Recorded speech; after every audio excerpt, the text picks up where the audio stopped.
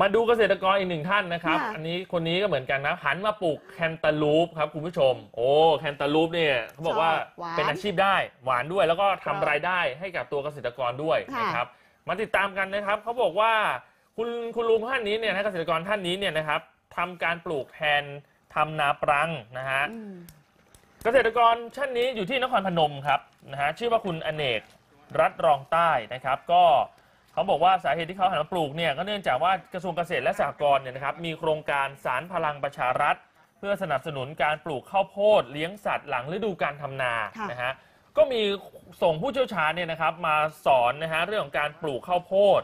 แต่ปรากฏว่าโอ้คุณลุงเนี่ยเขามองแล้วว่ามันน่าจะมีช่องทางอื่นนะครับ จริง ๆ แล้วทางกระทรวงเกษตรเนี่ยเขาส่งสำนักงานเกษตรจังหวัดที่นครพนม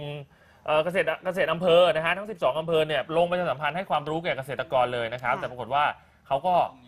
มีไอเดียมีแนวคิดอืมนะครับ คุณลุงเลยบอกว่าลองดีกว่า อืม ลองหันมาปลูกแคนตาลูปดีกว่า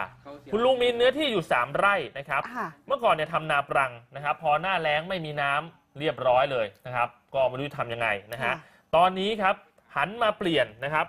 มีญาติเขาปลูกแล้วประสบความสำเร็จเออออืมนะครับ คุณลุงเนี่ยบอกเลยว่าแคนตาลูปเนี่ยมันปลูกง่ายใช้น้ำน้อยนะครับ แต่ละรอบการผลิตเนี่ยจะได้แคนตาลูปเนี่ยนะครับประมาณ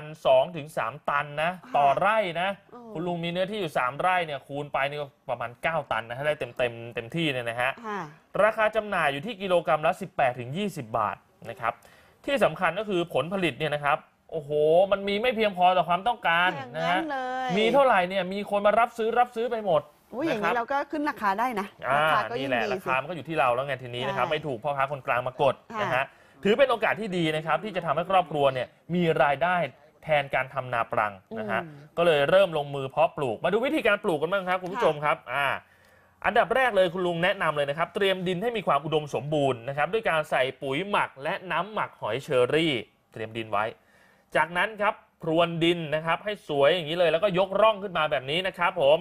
ก่อนที่จะนำต้นกล้าของแคนตาลูปเนี่ยมาเพาะในถาดหลุม ค่ะ เพาะในถาดหลุมก่อนนะฮะ แล้วค่อยนำมาลงแปลงปลูก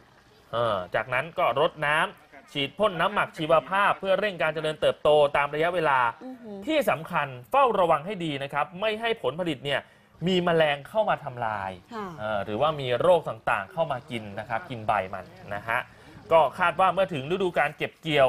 3 ไร่เนี่ยนะครับ คุณลุงบอกเลยว่าไม่ต่ำกว่าแสนนะครับโอ้ยรายได้นะ คุณลุงประเมินไว้เลยว่าไม่ต่ำกว่าแสนบาทโอ้โหดีกว่าทำนาเยดีอะ กว่าทำนาเยอะนะนี่แหคะละฮะเรียนรู้นะครับค่ะจากจากหน่วยงานที่มาให้ความรู้เออเออได้ความรู้เบื้องต้นก่อน แล้วลองมาคิดดูนะครับว่า เออเราจะ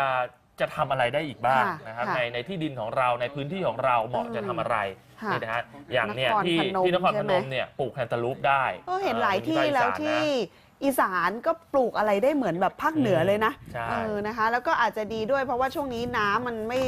ตกต้องตามฤดูกาลนะฝนนะ ครับผเห็นมอะไรนะคราวก่อนเออสตรอเบอรี่ปลูกที่สุพรรณได้นี่โอ้นะ